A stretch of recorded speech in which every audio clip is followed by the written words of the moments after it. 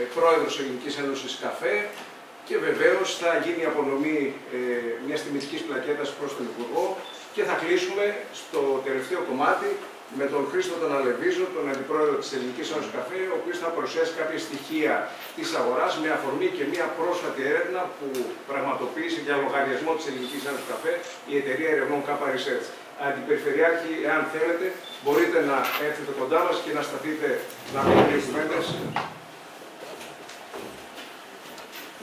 Κύριε Υπουργέ, θα μου επιτρέψετε ως οικοδεσπότης να καλωσορίσω το Προεδρείο της Ελληνικής Ένωσης Καφέ εδώ στην Μαφία, στη Βέρεια. Χαίρομαι πραγματικά όχι μόνο που παρευρίσκομαι, αλλά έχουμε και έναν ημαθιώτη στη διοίκηση, στη θέση του γραμματέα της, ε, ε Ένωσης, της Ελληνικής Ένωσης Καφέ, το φίλο, τον καλό φίλο και επιχειρηματία, τον Τάσου Γιάνκοβου. Γνωρίζω τα προβλήματα που είχατε ως Ένωση και θέλω να δώσω και άλλη μια φορά και εγώ τα συγχαρητήρια που παρακολούθησα το πρόβλημα και στην έκθεση που ήμασταν όλοι μαζί στη Θεσσαλονίκη. Εγώ να ευχηθώ καλή διαμονή, να έχουμε και πάλι τον Απόστολο Υπουργό, γιατί ο Απόστολος το έχει αποδεδειγμένα ότι έχει δώσει λύσεις και θα δίνει. Εύχομαι υγεία σε όλους και ό,τι καλύτερο. Σας ευχαριστώ. Πότος Αντιπρόεδρος της Ελληνικής Ένωσης Καφέ, ο Γιάννος Μπενόπουλος, Πρόεδρος της Ελληνικής Ένωσης Καφέ, ο Υφυπουργός Οικονομικών και υποψήφιος βουλευτής Μαθίας ε, Απόστολος Ρεσιρόπουλος, ο Τάσος Γιάννου Γραμματέας της Ελληνικής Ένωσης Καφέ και ο Γιάννης Τανούμης, ο οποίος είναι μέλος του Διοικητικού Συμβούλου της Ελληνικής Ένωσης Καφέ. Ε, θα καλωσορίσω λοιπόν τον κύριο ε, Γιάννου, ο οποίος θα μας πει έτσι, δύο κουβέντες. Μπορούμε να τον ακούσουμε. Να σας ευχαριστήσω να σας ευχαριστήσω λοιπόν και εγώ με τη σειρά μου για την ε, σημερινή σας ε, παρουσία. Είναι ιδιαίτερη η τιμή και η χαρά για μένα να συνεδριάσει το Διοικητικό Συμβούλιο της Ελληνικής Ένωσης Καφέ και βεβαίως η μεγαλύτερη μου χαρά είναι η αποδοχή της πρόσκλησης της Ελληνικής Ένωσης Καφέ του Υπουργού μας, του Απόστολου του Βεζιρόπουλου. Κύριε Αντιπεριφερειάρχα, σας ευχαριστώ πάρα πολύ για την παρουσία σας. Ξέρω τι αγώνα κάνατε σήμερα να παρευρεθείτε. Είναι ιδιαίτερα τιμητικό για μένα, ως και εγώ οικοδεσπότης μαζί σας. Να ευχαριστήσω τον ε, πρόεδρο των καταστημάτων υγειονομικού ενδιαφέροντος, τον Κώστα Σαμανίδη, όπως επίσης και τον Αργύρι τον Σακαλή, ο οποίος είναι μέλος του Συλλόγου ε, καφεζαχαροπλαστών. Λίγα λόγια για την Ένωση. Ποια είναι λοιπόν η Ένωση; Η Ένωση συστήθηκε το 2018 με αφορμή την έλλειψη θεσμικού εκπροσώπου στον κλάδο του καφέ. Άρα συμμετέχουν 22 ενεργά εταιρείες πανελλαδικής εμβέλειας από όλη την Ελλάδα και τα τμήματα που εκπροσωπεί είναι τον εισαγωγέο νομού καφέ, του κλάδου της εμπορίας, του τμήματος της εμπορίας για την ακρίβεια και του τμήματος της μεταποίησης της επεξεργασίας καφέ. Κύριο μέλημα της Ένωσης Καφέ είναι η αντιμετώπιση κρίσιμων ζητημάτων που άπτονται τον κλάδο, ούτως ώστε το εθνικό μας ρόφημα να φτάνει με ασφάλεια για την υγιεινή σας στην καθημερινή σας απόλαυση. Θα ήθελα να είμαι σύντομος, σας ευχαριστώ και πάλι, ευχαριστώ Υπουργέ μου, ευχαριστώ το Διοικητικό Συμβούλιο της Ένωσης Καφέ για την τιμητική αυτή παρουσία του στη Βέρεια. Και δίνω τον λόγο στον αμέσως επόμενο μιλητή. Ε, κύριε Καταρχήν, την Μαθία και τους Μαθιώτες για τη φιλοξενία σας είναι εξαιρετική μορφή. Θέλω να ξεκινήσω από κάτι λίγο προσωπικό.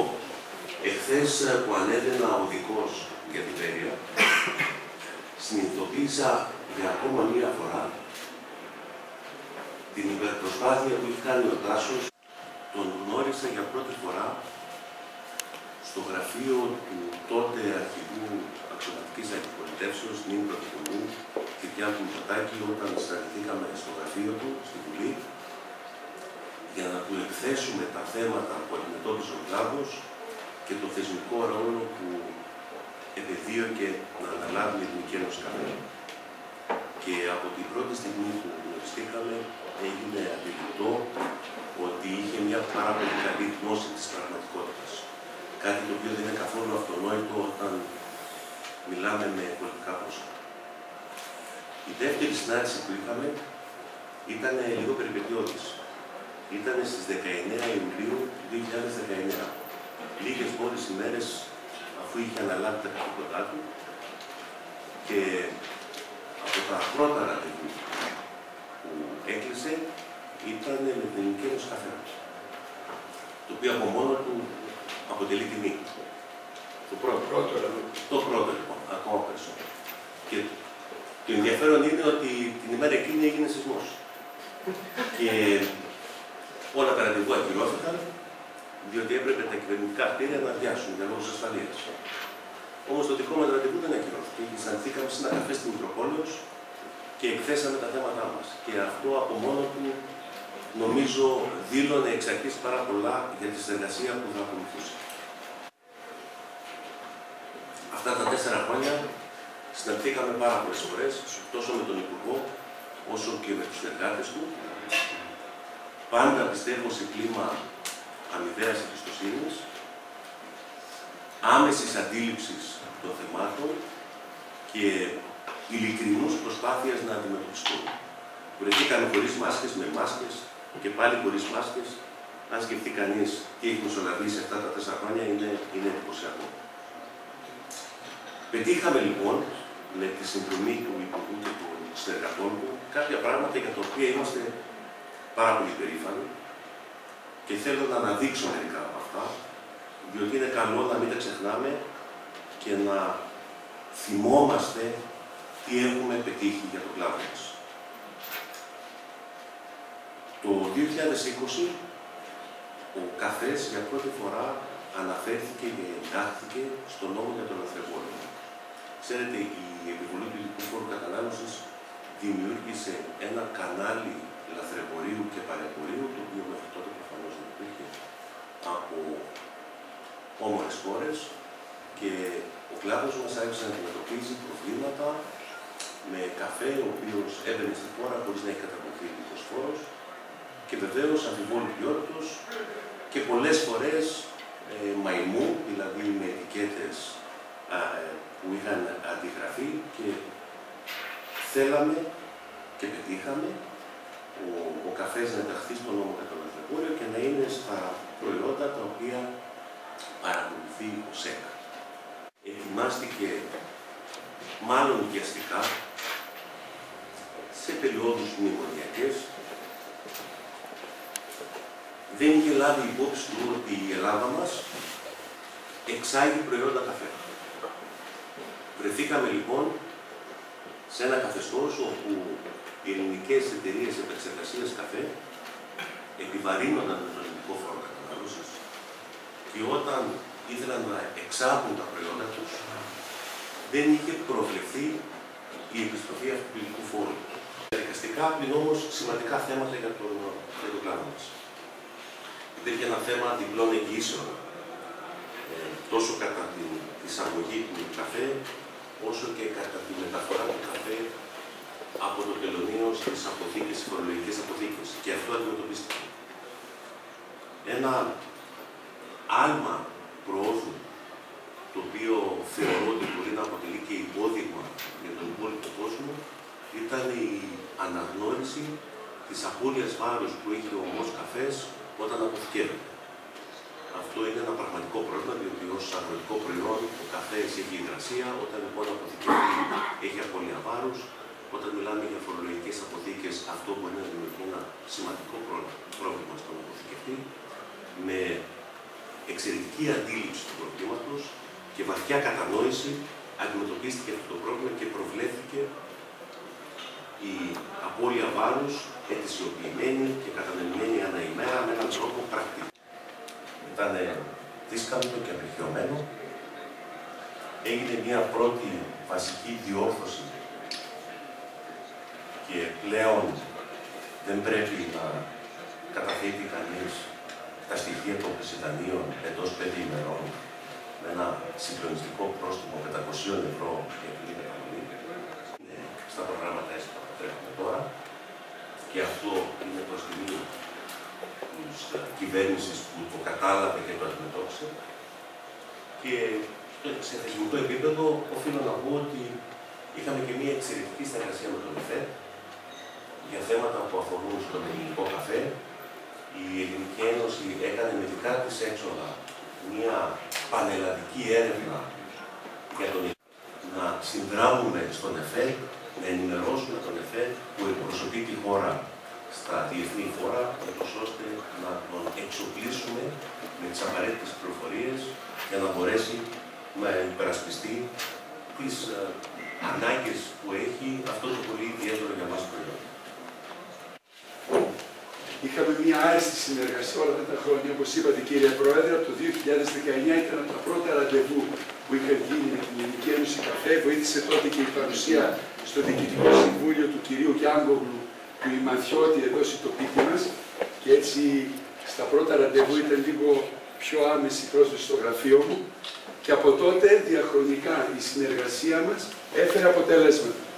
Πρώτον, να σας καλωσορίσω. Σας ευχαριστώ κύριε Πρόεδρε, σας ευχαριστώ γραμματέα, ευχαριστώ όλα τα μέλη του Διοικητικού Συμβουλίου της Ελληνικής Ένωσης ΚΑΦΕ, τα μέλη της Γενικής Συνέλευσης, να ευχαριστήσω τον κύριο Αντιπεριφερειάρχη που είναι εδώ σήμερα μαζί μας, να ευχαριστήσω τον Πρόεδρο του, του, του Πρόεδρο των Επιχειρήσεων Καφέ Ζαχαροπλαστών και όλους εσάς τους δημοσιογράφους. Σας καλωσορίζω στην Ημαθία, στη φιλόξενη Ημαθία, κάνετε μια εξαιρετική επιλογή επιλέγοντας την Ημαθία ως τόπος φιλοξενίας της Γενικής Συνέλευσης της Ελληνικής Ένωσης Καφέ. Είστε εδώ στην καρδιά της Μακεδονίας, σε ένα πολύ φιλόξενο τόπο. Λίγα χιλιόμετρα από εδώ είναι η Βεργίνα. Πρέπει να την επισκεφτείτε αν δεν την επισκεφτείτε. Και γενικά την πόλη μας. Και είναι πολύ καλό να γίνονται τέτοιες εκδηλώσεις και ημερίδες εδώ στον τόπο μας για να γνωρίζετε από κοντά τις ομορφιές αυτού του μακεδονικού τόπου. Στη φιλοξενή μαθία με τους δημιουργικούς ανθρώπους, τους επιχειρηματίες, δημιουργικούς ανθρώπους της αγοράς. Στη διάρκεια της θητείας της κυβέρνησης του Κυριάκου Μητσοτάκη, είχα τη χαρά να έχω μια στενή και επικοδομητική συνεργασία με τον κλάδο σας, όπως ανέφερε προηγουμένως κύριε Πρόεδρε. Στο πλαίσιο της συνεργασίας αυτής θέσαμε στόχους όπως πρώτον, την ενίσχυση του υγιούς ανταγωνισμού. Δεύτερον, ο εξορθολογισμός της φορολόγησης, ιδίως όσον αφορά τα μείγματα και εκχυλίσματα του καφέ. Και τρίτον, η εξομάλυση χρόνιων στρεβλώσεων που αποτελούσε τροχοπέδι για τις επιχειρήσεις του κλάδου. Αποτέλεσμα της διαρκούς αυτής συνεργασίας που περιέγραψε προηγουμένως, κύριε Πρόεδρε, είναι μια σειρά ουσιαστικών θεσμικών νομοθετικών παρεμβάσεων που έγιναν μετά τη διαβούλευση και στη συνεννόηση με τους ελληνικούς εκπροσώπους του κλάδου. Τα είπατε επιγραμματικά, αλλά θα μου δώσετε λίγο την ευκαιρία να στοχεύσω σε αυτά γιατί αξίζει τον κόπο. Συγκεκριμένα με τον νόμο 4758 του 2020 για την περιστολή του λαθρεμπορίου ικανοποιήθηκε μια σειρά ετοιμάτων της Ελληνικής Ένωσης Καφέ. Συγκεκριμένα θεσμοθετήθηκε η υπαγωγή, όπως είπατε κύριε Πρόεδρε, για πρώτη φορά του ελέγχου του καφέ στις αρμοδιότητες του Συντονιστικού Επιχειρησιακού Κέντρου, του γνωστού ΣΕΚ, για την καταπολέμηση του ελευθερμπορίου. Η αντικατάσταση του άρθρου 53α του Εθνικού Τελωνιακού Κώδικα, νόμος 2960 του 2001, για να εξορθολογιστεί και να γίνει δικαιότερη φορολόγηση παρασκευασμάτων, όπως αναφέρατε, μειγμάτων και χιλισμάτων με καφέ, τα οποία μέχρι τότε φορολογούνταν με βάση το βάρος του τελικού προϊόντος και όχι με το βάρος, με τον καφέ τον οποίο περιείχε το, το μείγμα. Η επιστροφή του ειδικού φόρου, του φόρου κατανάλωσης στον καφέ, όταν αυτός εξάγεται ή αποστέλνει σε άλλα κράτη-μέλη της Ευρωπαϊκής Ένωσης και επομένως δεν καταναλώνεται εντός της Ελλάδος, επιπλέον με τον νόμο 4955 του 2022 καθορίστηκε ανώτατο όριο τριών κιλών ένα εισερχόμενο ταξιδιώτη στη χώρα για λόγους περιορισμού και βέλτιστη εποπτείας των ποσοτήτων που εισάγονται από ιδιώτες. Ταυτόχρονα με μια σειρά αποφάσεων που εγώ ίδιος υπέγραψα, δόθηκαν λύσεις σε συγκεκριμένα προβλήματα. Αναφέρομαι χαρακτηριστικά. στην απόφαση η οποία εκδόθηκε στη συνέχεια της σχετικής νομοθετικής πρόβλεψης του νόμου 4758 του 2020 για τον καθορισμό των επιμέρους όρων και των ειδικότερων προϋποθέσεων για την επιστροφή του φόρου κατανάλωσης του καφέ όταν εξάγεται ή αποστέλλεται σε άλλο κράτος μέρος της Ευρωπαϊκής Ένωσης. Στην ενίσχυση της ρευστότητας των επιχειρήσεων του κλάδου με την τροποποίηση της μέχρι τότε ισχύωσης απόφασης και την καθιέρωση εγγύησης που καλύπτει όλες τις κινήσεις και την αποθήκευση του καφέ. Υπερθυμίζω ότι μέχρι την τροποποίηση της απόφασης απαιτούνταν εγγύηση για τη μεταφορά του καφέ από το τελωνίο εισόδου έως το σημείο παραλαβής, δηλαδή τη φορολογική αποθήκη, και άλλη εγγύηση για την αποθήκευση στη φορολογική αποθήκη.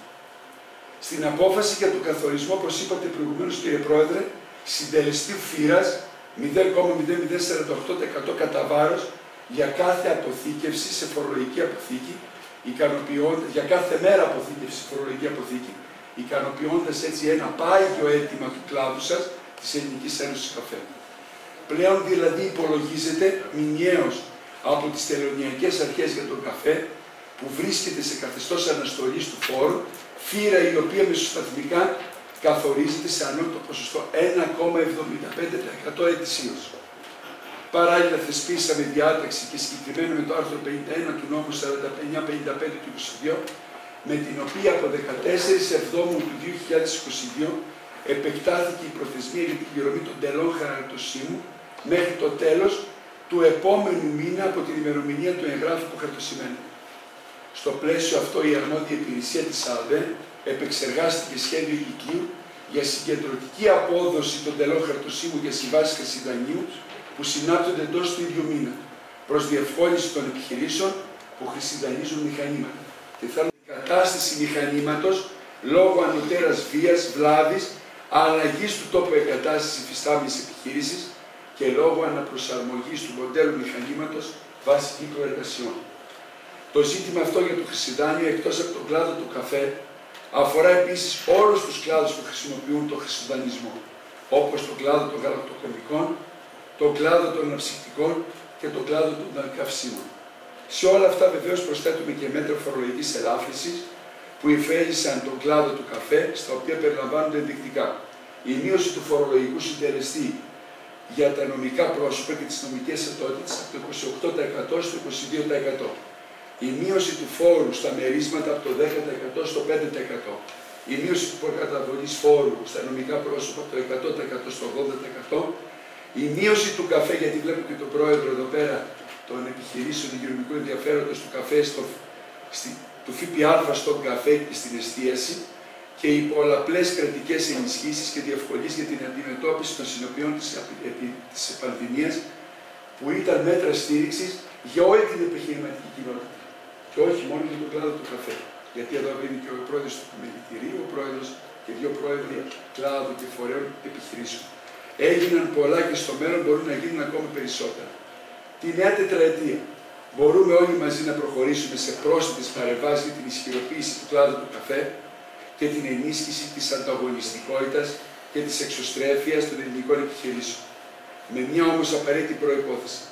Τη διατήρηση της πολιτικής και οικονομικής σταθερότητας. Και αυτό είναι στο στην άσκηση συνετής οικονομικής πολιτικής για την ενδυνάμωση της ελληνικής οικονομίας και την ισχυροποίηση της αναπτυξιακής δυναμικής της χώρας. Και δεύτερον, στην διευκόλυνση με κάθε νόμιμο τρόπο της άσκησης οικονομικής και επιχειρηματικής δραστηριότητας. Η δέσμευσή μας αυτή εννοείται ότι ισχύει και για την νέα τετραετία. Σας ευχαριστώ και εύχομαι καλή επιτυχία στις εργασίες της Γενικής Συνέλευσης. Και πάλι σας ευχαριστώ για την τιμητική αυτή βράδυ. Σας ευχαριστώ. Είμαι εγώ. Δυστυχώς, αλλά όχι από αυτή θέμα ο, ο καφές λοιπόν στην Ελλάδα είναι το εθνικό μας ρόφι. Είναι πάρα πάρα πολύ. Αδιαφυσβήτητα. Αδιαφυσβήτητα, ναι. Δεν υπάρχει σπίτι που να μην έχει καφέ ελληνικό Έχετε ή δίκιο. κάποιες άλλες. Και γραφείο. Και γραφείο δεν υπάρχει. Ε, αν εξαιρέσουμε το, το νερό βρύσης, περίπου ένα στα δύο ροφήματα που πίνουμε στην Ελλάδα είναι καφές. Και βάσει των α, στοιχείων α, που συγκεντρώνονται στο site World Population, η Ελλάδα έχει τη 18η θέση παγκοσμίως σε κατανάλωση καφέ κατά κεφάλι. Αυτό σημαίνει ότι πίνουμε κατά μέσο όρο μια μισή κούπα καφέ την ημέρα. Τι σημαίνει αυτό; Μιλάμε για περίπου 4,5 δισεκατομμύρια κούπες το χρόνο. Με άλλα λόγια, αν τις βάζαμε τη μία δίπλα από την άλλη, θα κάναμε το γύρο της γης 5 6 φορές. Τόσο καφέ πίνουμε στην Ελλάδα. Με, τον, με το φίλτρο 1,14-5%. Αυτός που έχει πολύ μεγάλο ενδιαφέρον, πάλι βάσει της έρευνας της ΚΑΠΑΙΣΕΤ, στην οποίας αναφέρθηκε ο κ. Λαμπύρης νωρίτερα, είναι ότι οι καταναλωτές έχουν διαφορετική συμπεριφορά όταν είναι στο σπίτι και διαφορετική όταν είναι εκτός σπιτιού. Όταν είναι στο σπίτι, λοιπόν, προτιμούν να πίνουν ελληνικό καφέ και στιγμιαίο, αλλά όταν είναι εκτός σπιτιού, προτιμούν τον εσπρέσο. Όλοι ε, θα μπορείτε να αναφερθείτε σε αυτήν εφόσον επιθυμείτε. Γενικά και μια τάση προς τα η αγορά. Η αγορά γενικά μέχρι το 2019 θα έλεγα σε κατανάλωση εντό και εκτό σπιτιού ήταν σταθερή τα τελευταία 10-15 χρόνια. Ελαφρώς αυξητική, αλλά σταθερή. Φυσικά ήρθε η πανδημία, φυσικά δημιουργήθηκε μια πτώση στην κατανάλωση κυρίω της εστίασης. Αυτό που βλέπουμε λοιπόν είναι μια ανάκαμψη το 2022 και σίγουρα το 2023 εκτιμήσει αγοράς μαζί με την αύξηση του τουρισμού θεωρούμε ότι τα επίπεδα της κατανάλωσης θα επανέλθουν στα επίπεδα που είχαμε πριν από την πανδημία. Αυτά έτσι λίγα λόγια βάσει της έρευνας, την οποία και θα λάβετε και θεωρώ ότι είναι αρκετά ενδιαφέρουσα να διαβάσετε. Μεγαλώνει ανεξέλεγκτα με λαθρές αμφιβόλου ποιότητος διελεύσεις από τις αγορές, διελεύσεις καφέ. Και από τα βόρεια και από τα δυτικά. Ε, έχει σταματήσει δεν συνεχίζει να αυξάνεται. Και ξέρετε, δεν είναι, είναι, είναι πολυεπίπεδο το πρόβλημα. Ένα θέμα προφανώς είναι ο αθέμητος ταμουσό. Η δική μου επιχείρηση επιβαρύνει την φόρο κατανάλωσης. Ο καφές ο οποίος μπαίνει στη χώρα χωρίς αυτό είναι φθηνό. Αυτό είναι ένα. Πετε ότι είναι το λιγότερο. Το δεύτερο μεγάλο πρόβλημα είναι η ποιότητα. Ένας καφές ο οποίος μπαίνει κάτω από αυτές τις συνθήκες στη χώρα δεν έχουμε κανέναν έλεγχο τι καφές είναι. Και μπορεί αυτό να φτάσει και σε ακραίες περιπτώσεις να είναι πρόβλημα για τις δαπανές. Το τρίτο και το χειρότερο είναι ότι αυτός ο καφές διοχετευόταν σε κανάλια τα οποία είχαν λόγο να αγοράζουν λαθρέο καφέ και να πουλούν καφέ χωρίς απόδειξη. Όμως 4758 του 2020 για την περιστολή του λαθρεμπορίου που είναι το πρώτο ολιστικό νομοσχέδιο αντιμετώπισης αυτού του φαινομένου διαχρονικά από όλες τις κυβερνήσεις, γιατί μέχρι τότε υπήρχαν αποσπασματικές διατάξεις αντιμετώπισης του φαινομένου του λαθρεμπορίου. Έχουμε κάνει την υπαγωγή του ελέγχου του καφέ στις αρμοδιότητες του συντονιστικού επιχειρησιακού κέντρου για την καταπολέμηση του λαθρεμπορίου. Άρα, στο ανώτατο αυτό συντονιστικό όργανο για την καταπολέμηση του λαθρεμπορίου, για την περιστολή, έχουμε κάνει την υπαγωγή και το καφέ. Εκτός από αυτά που υπήρχαν πρώτα ε, τα προϊόντα με ειδικό φόρο κατανάλωσης που ήταν τα αλκοολούχα ποτά και τα καύσιμα. επιχειρησιακό κέντρο, το οποίο έχει πάρα πολύ μεγάλα αποτελέσματα για την περιστολή του λαθρεμπορίου. Είναι θέμα ορών να βγει δελτίο τύπου από το Υπουργείο Οικονομικών για τα αποτελέσματα των δύο τελευταίων ετών των, των ελεκτικών υπηρεσιών του Υπουργείου Οικονομικών, της ΑΔΕ και όλων των εμπλεκόμενων συναρμόδιων Υπουργείων υπό το συντονισμό του συντονιστικού επιχειρησιακού κέντρου. Μπορεί να έχει βγει δηλαδή, είναι θέμα, ή χθες το βράδυ, σήμερα το πρωί, είναι θέμα ορών να βγει ή βγήκε. Θα το δει. Τρία σημεία απάντησης. Η κατανάλωση στο σπίτι αυξήθηκε όπω και σε πολλά άλλα τρόφιμα. Λογικό είναι ο κόσμος έμεινε μέσα, κατανάλωνε καφέ στο σπίτι. Η κατανάλωση εκτός σπιτιού έπεσε, έπεσε πολύ. Και ανακάμπτει σιγά σιγά. Παρότι θεωρούμε ότι ίσως να υπήρξε και μια μεταβολή συνηθιών. Δηλαδή έμαθε κάποιος κόσμος να κάνει τον καφέ του στο σπίτη και ή παραγγέλνει ή το κάνει στο Το τρίτο είναι και δεν μπορούμε να μιλήσουμε εμείς εκ μέρους της εστίαση, αλλά επειδή είναι συνεργάτες μας, πελάτες μας, το νιώθουμε. Οι, τα καταστήματα καθεστίασης υπέστησαν τεράστια ζημιά από το κλείσιμο της αγοράς και από την αλλαγή των συνηθιών. Ε, και οφείλουμε να πούμε και τι φαντάζομαι τώρα ότι η κυβέρνηση στήριξε και μπόρεσαν οι επιχειρήσεις να περάσουν αυτή τη δύσκολη φάση και να επιβιώσουν για την επόμενη μέρα, το θέμα είναι να σηκεί την επόμενη μέρα και να συνεχίσει να παλεύει. Δεν έχει φτάσει ακόμα η συνολική κατάσταση σε όγκο, σε κιλά. Δεν έχει φτάσει στα προ-πανδημίας επίπεδα, αλλά τίνει να διορθώσει από την απώλεια και βεβαίως και το τουριστικό κύμα το οποίο ανακάμπτει και οι επισκέπτες στη χώρα μας και αυτοί βοηθούν στη ιστορική κατανάλωση, δεν υπάρχει καμία αμφιβολία. Αυτό άρα όσο και ο τουρισμός θα αυξάνεται και θα επανέρχεται και θα ξεπερνάει τα, τα παλαιότερα επίπεδα, αυτό κατά έναν τρόπο θα δημιουργήσει και μία επιπλέον κατανάλωση. Είμαστε λοιπόν αισιόδοξοι για το τι πρόκειται να συμβεί στο μέλλον. Είμαστε ικανοποιημένοι για το σημείο ανάκαμψης της αγοράς και βεβαίως είμαστε και, αν μπορώ να το πω έτσι, και ικανοποιημένοι από τα μέτρα στήριξης που ελήφθησαν σε όλα τα επίπεδα, τα τρία χρόνια τα δύσκολα, για να μπορέσουμε να είμαστε εδώ και να συζητάμε. Συνολικά όλων των επιχειρήσεων, αλλά και συνολικά όλης της κοινωνίας, επιχειρήσεις, ελεύθεροι επαγγελματίες, νομικά πρόσωπα, ιδιοκτήτες ακινήτων, ιστοτούς, ανέργους, συνολικά το σύνολο της κοινωνίας, στήριξε η κυβέρνηση με μέτρα ύψους 43 δισεκατομμυρίων ευρώ. Και επειδή εδώ μιλάμε για επιχειρήσεις, με το κορυφαίο μέτρο, την επιστρεπτέα προκαταβολή, θα πούμε πόσο επιστρεπτέα ήταν σε λίγο, με την επιστρεπτέα προκαταβολή που ενισχύθηκαν οι επιχειρήσεις και κρατήθηκαν ζωντανές, για να είμαστε εδώ και να μιλάμε σήμερα, με ύψους 8,3 δισεκατομμύρια ευρώ. Και από τα 8,3 δισεκατομμύρια ευρώ βεβαιώθηκε στη ΔΟΗ ποσό επιστροφής 3 δισεκατομμύρια ευρώ, άρα πάρα πολλές επιχειρήσεις θα επιστρέψουν το πολύ το 50% της επιστρεπτές προκαταβολής και πάρα πολλές το 25% της επιστρεπτές προκαταβολής.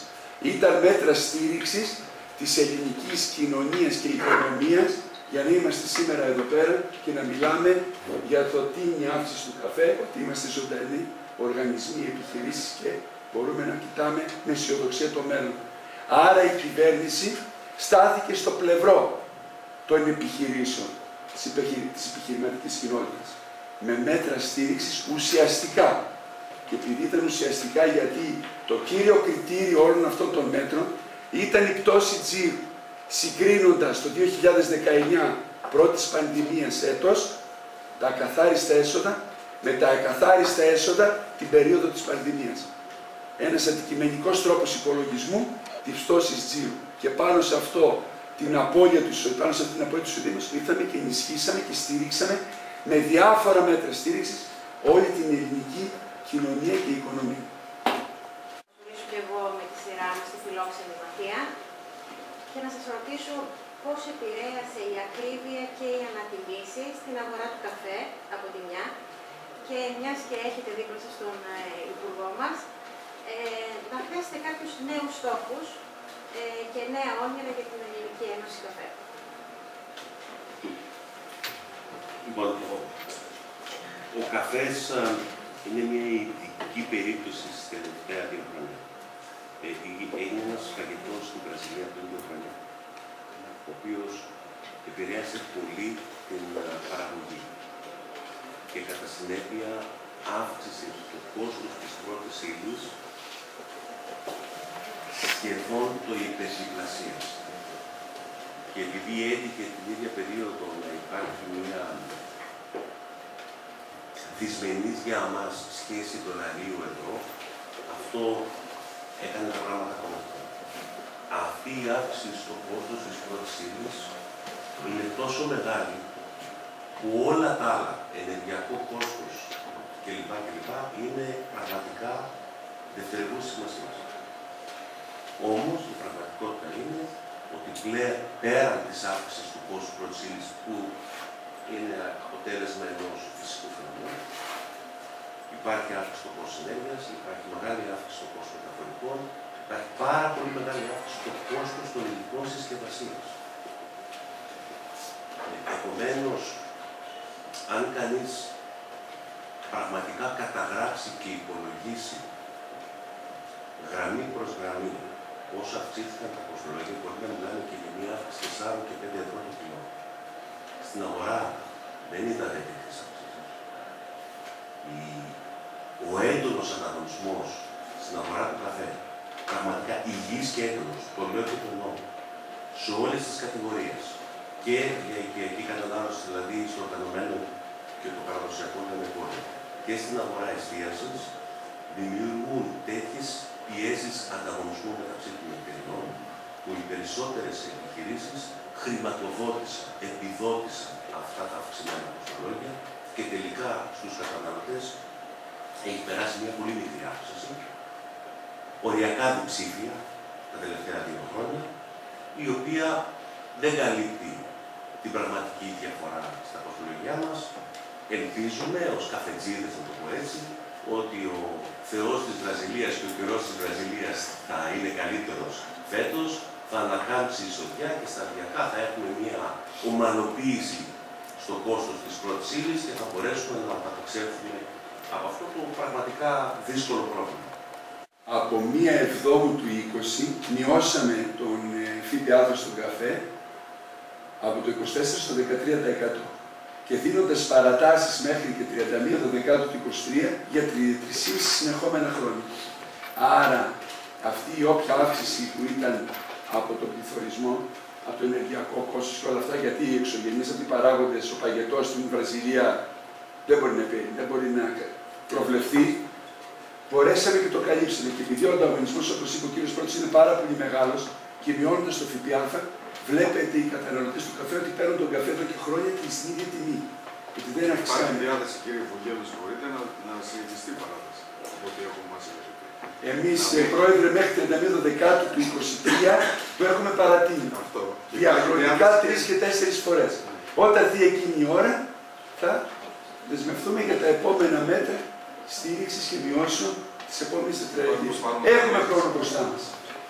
Μια πάρα πολύ σοβαρή στάση, ξαναλέω, όχι στα πλαίσια των κλαδικών συμφερόντων, αλλά σε μια λογική να έχουμε υγεία ανταγωνισμό, καθαρούς και εφαρμόσιμους κανόνες. Θεωρώ ότι αυτό από μόνο του δικαιώνει την ίδρυση και λειτουργία της Ελληνικής Ένωσης Καφέ και νομίζω ότι όλα τα μέλη ονειρεύονται να συνεχίσουμε σε αυτόν τον δρόμο. Τα προβλήματα ποτέ δεν σταματούν. Όλος και περισσότερο τα θεσμικά προβλήματα περιορίζονται. Είμαι βέβαιος και τα λίγα εμπόδια που υπάρχουν σταδιακά θα ε, λυθούν και επομένως θα μπορούμε να έχουμε το νου μας στραμμένο στις δουλειές μας χωρίς εμπόδια.